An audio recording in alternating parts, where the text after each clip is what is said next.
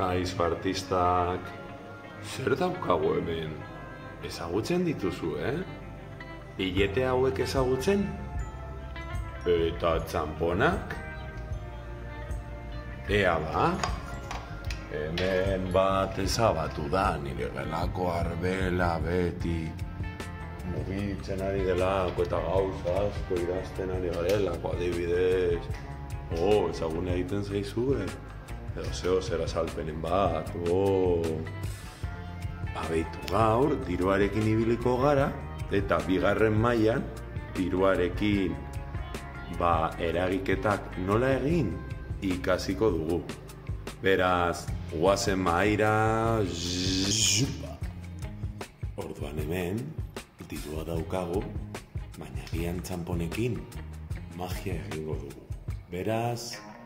Mm, magia! Orduan, hiru kantitate ditu. Amairu, koma, irurogeta bost euro, euro bat, eta lau koma amabost euro. Edo beto esan da. Amairu euro eta irurogeta bost zentimo, euro bat, eta lau euro eta amabost zentimo.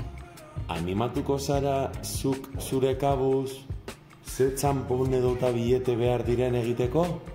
Egitera? Bai? Ba, orduan, idioa momentu batean pausatu eta saiatu. Eta orain, nire txanda, amairu euro eta irurogeta bost zentimo zer dira. Amar euro, bi, bat, bost, oza, berrogeta amar, amar eta bost zentimo. Orduan, inguratzeko, inguratuko genituzke, eta ondo egin duzue? Magia! Amar, amairu, koma, irurogeita, bost. Kasu honetan, euro bat, nola egiten da? Bai, ez da? Berrogeta amar, gehiago gehi, gehiago gehi, gehi amar, ez da? Gehi, gehiago gehi, gehi amar. Eta ematen du, egun zentimo, amar euro ez da, hau da, epa magia berrogeta amar, hogeiko bi, eta amar. Eta azkena, lau euro eta amago zentimo, nola egiten da oso ondo? Txiu! Lau euro, amar, ah, amago zentimo. Bai? Beno? Eta bukatzeko nola egiten den eragiketa baten bat euroekin egingo dugu? Ea ba, momentu bat... Matxaran! Geiketa baten bat egin beharko dugu, baina agian zuek nahiago duzue magia eginda, beraz, ma ma ma ma ma ma ma ah, yeah.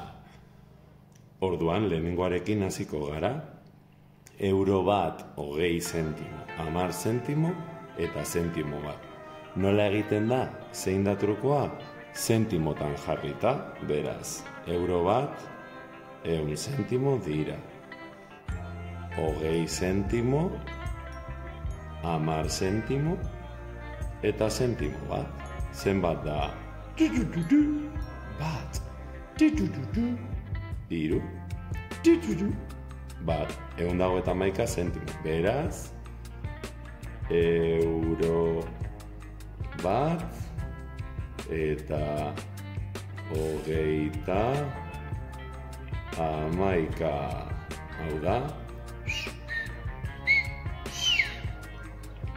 ondo? Bigarrena.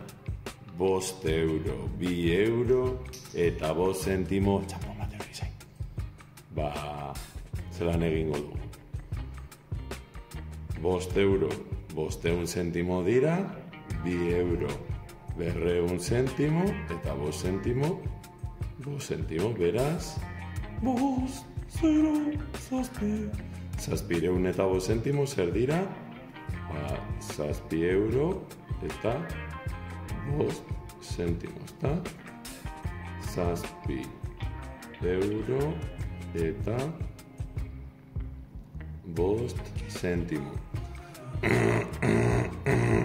kontuz, artista, kontuz.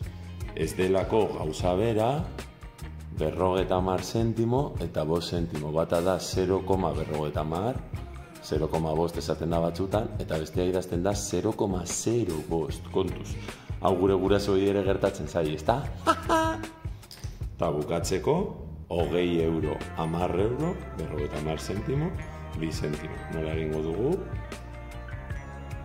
Bi mila, amar mila, berrogeta mar, eta bi, nola egiten da?